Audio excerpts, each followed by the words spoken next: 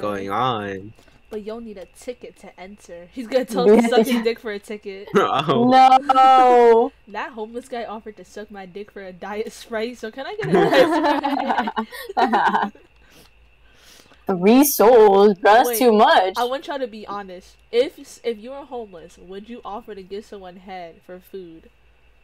No, I don't want an STD. You were homeless and poor. I don't want an STD. You come from a low income family.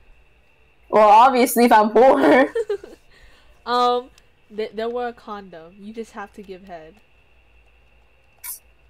I'll see how I feel. They'll give you a full m- meal for three days straight. Meals for three days straight. Yes. Okay,